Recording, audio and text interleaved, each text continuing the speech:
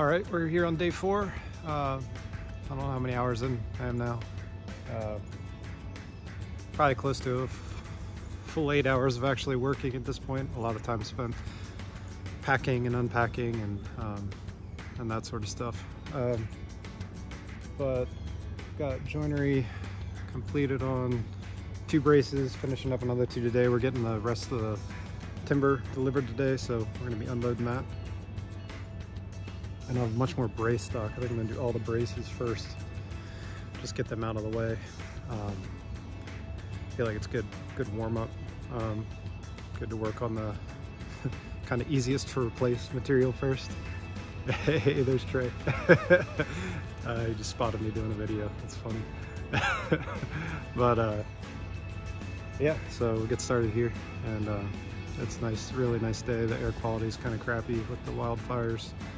Um, but it's not too bad. It feels pretty good out here right now. Nice breeze, got a shady spot to work. It's uh, all in all, pretty good.